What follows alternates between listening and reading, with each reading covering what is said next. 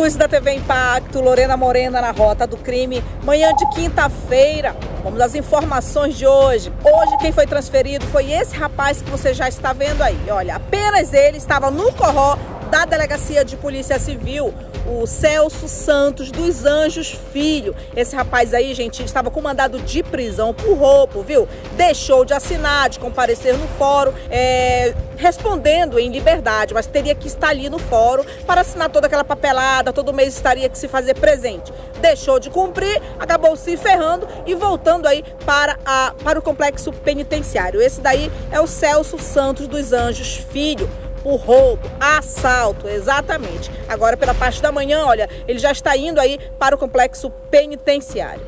Bom, gente, a polícia está à procura de prender esses dois elementos. Já são velhos conhecidos da polícia. Olha só, você vai acompanhar aí as imagens agora. Os dois elementos é o Chuck e o ganso, tá? Eles cobriram a cara aí, mas é, as pessoas estão fazendo denúncia, já sabem que foi esses dois elementos que pularam este muro, localizado em é, uma casa localizada no bairro Uruará, viu? Nessa residência, olha só a artimanha desses rapazes, viu? O muro é alto, mas mesmo assim eles sobem, eles pulam o muro para dentro desta residência onde mora uma senhora de 86 anos de idade. Da residência dela levaram um cacho de banana, mas no vizinho ao lado de levaram uma bomba, viu? Fizeram ali um, uma espécie de arrastão, viu? Na casa, na casa do lado, exatamente. Esses dois elementos aí velhos conhecidos da polícia, já são é, quanto mais nessa prática de furtos, tá? Que é o ganso e o chuck. Se você aí, olha,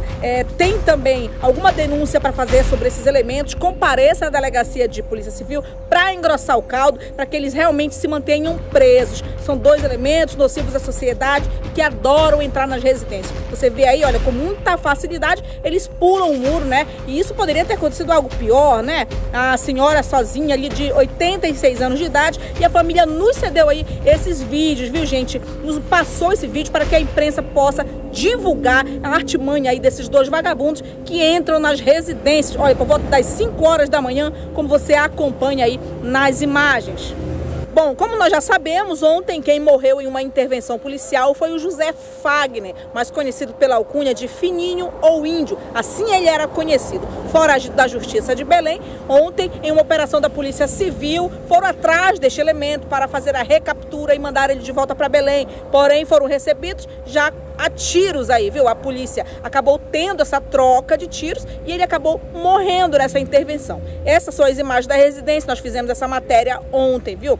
Agora começaram aí aparecer as vítimas aqui na delegacia de polícia civil. Por quê? Porque esse cara, gente, ele era acostumado a praticar diversos assaltos em nossa cidade. Então, dentro da residência onde ele acabou vindo a óbito, tinha alguns materiais ali que ele tinha levado, né, de furtos e roubos. Esse rapaz, esse elemento aí que morreu. Aqui na delegacia compareceu uma das pessoas que foram vítimas desse rapaz aí. Olha, inclusive tem até uma foto aí é, dele circulando já com essas armas de fogo. O era bastante perigoso e adorava fazer assalto, entrar em lojas, em açougue. E dessa vez aí ele tinha entrado é, em uma distribuidora. A vítima está aqui, não quis gravar a entrevista, mas veio verificar se de repente seus produtos não foram apreendidos, né, ontem na residência.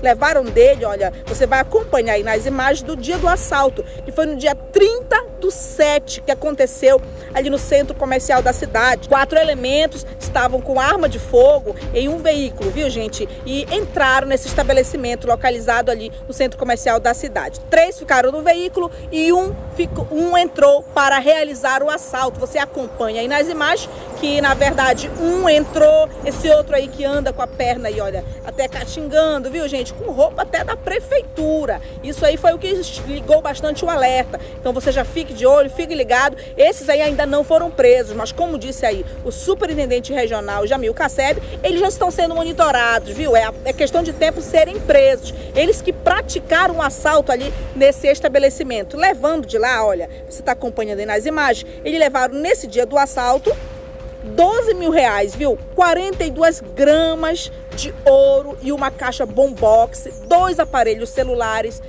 e dois relógios. Exatamente. Tudo isso foi levado no dia 30 dessa distribuidora que você está vendo aí. na distribuidora localizada no centro comercial da cidade.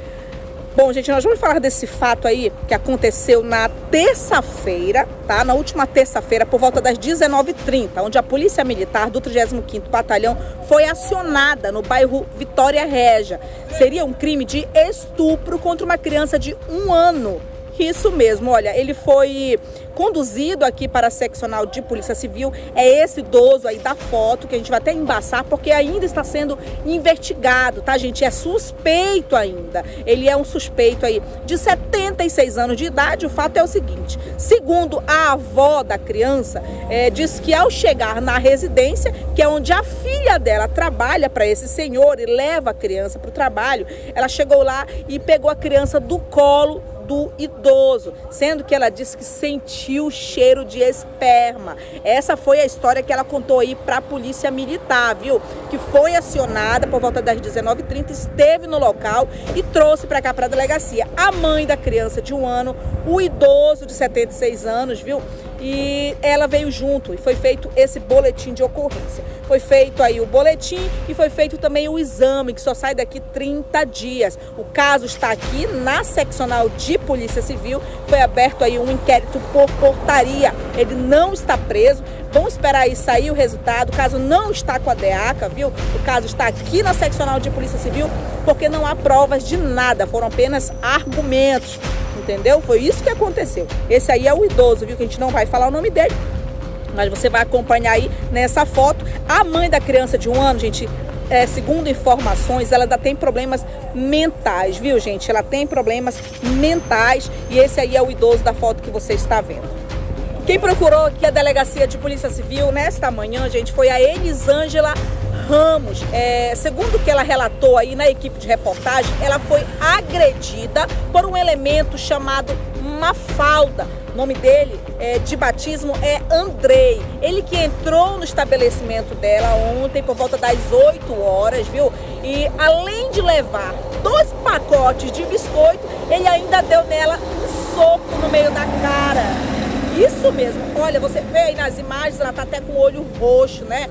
tá aí, olha, veio pedir justiça, veio fazer o boletim de ocorrência aqui na delegacia de polícia civil e pede providências sobre o caso. Essas imagens que a gente vai jogar aí é dele. Quem nos forneceu foi ela, a Elisângela Ramos. Esse fato aconteceu no bairro Uruará, no Porto dos Milagres. Esse elemento aí, ela, como ela disse, né, você vai acompanhar já já na entrevista, ele estava embriagado, viu? Muito embriagado quando chegou lá e levou ali dois pacotes de biscoito, ainda deu uma bolacha no meio da cara dela. Exatamente. Esse aí é o Mafalda, viu? Foi denunciado agora aqui na seccional de Polícia Civil e vamos esperar aí a prisão deste elemento. Cidadão conhecido como Mafalda, o nome dele é Alex, entrou dentro do meu estabelecimento e me roubou, me chamou de filha da puta, filho de uma égua e me deu um soco no meu rosto. Aonde foi? Aonde é o seu estabelecimento? É, lá no bairro do Uruará, é no meu mercantil entrou lá e me roubou. E disse que mandou recado que ontem a polícia não pegou ele que não vai dar em nada hoje. Por que ele fez isso com a senhora? Ele estava porre, é conhecido, ele estava porre, ele entrou para roubar. Já é acostumado a frequentar lá o seu, seu estabelecimento? Não, não é acostumado não, ele nunca entrou lá. A primeira vez que ele entrou ontem lá, ele estava porre, não sei se estava drogado, eu não sei. Sei que porre ele estava. E ele me roubou, me deu um soco no rosto, me chamou de filha da puta, filho do Mael e de pau no cu. O que ele levou da senhora? Ele levou dois pacotes de biscoito e estava armado com uma faca também na cintura dele. O boletim de ocorrência foi registrado já? Agora já tá foi né? registrado, né? já. A senhora estava sozinha no momento? Estava sozinha no momento. Horas era mais ou menos? 8 horas da manhã. De ontem? Foi ontem. Essas marcas no seu rosto, então, foi, foi ele a... que deu. A marca da agressão dele, né? Foi a marca do. Ele mora lá no bairro mesmo? Sim? Mora lá no bairro, na rua Nossa Senhora da Conceição, o número da casa dele é 164. Ele é usuário de entorpecente? Eu não sei, sei que ele cachaça ele bebe bem. O delegado já falou se ele tem passagem pela polícia aí? Ele tem, porque tem a foto dele. Tu me respeita. Tu me respeita, tá? Ei, rapaz, tu me respeita, filha de uma puta. Faz isso não, rapaz. Não faz isso não, cara.